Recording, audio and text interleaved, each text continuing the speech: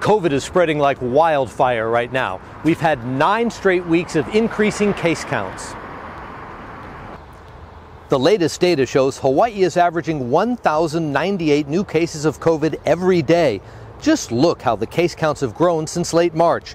And we know there are many more cases because tests taken at home do not show up in the data. There could be 5,000, 6,000 new cases a day, maybe more.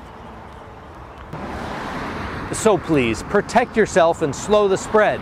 Hey, you wear seatbelts when you drive, that reduces risk. And wearing masks reduce risk.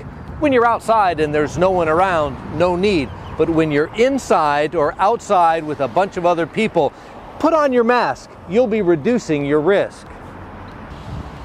Check out HawaiiCovid19.com for tips on what to do if you're sick, when to test, and what to do if you test positive. Mahalo for watching and take care.